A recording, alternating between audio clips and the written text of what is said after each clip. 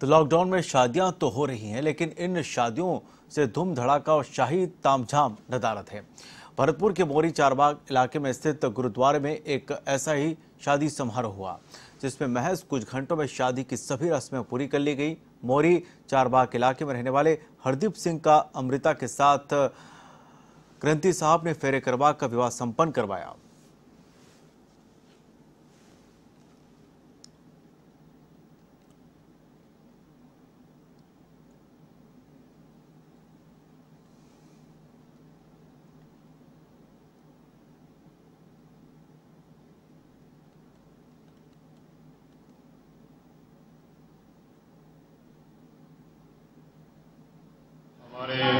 on dance,